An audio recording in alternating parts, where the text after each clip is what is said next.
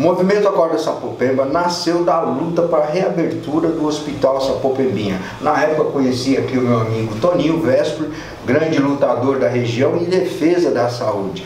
De lá para cá foram várias as batalhas, não é isso, Toninho? É isso aí, Palmeira. E, e o, tanto o Palmeira como eu, nós nos né, encontramos no dia a dia na batalha para melhorar toda a região aqui da Leste. E principalmente aí na luta pelo Hospital Sapopembinha.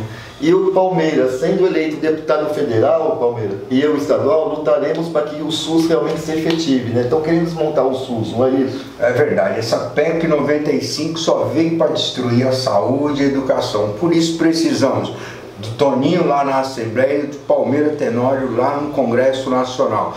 Peço o seu voto para o meu amigo aqui, Toninho Vespoli, 50650 e para deputado federal, 5029, Palmeira Tenório.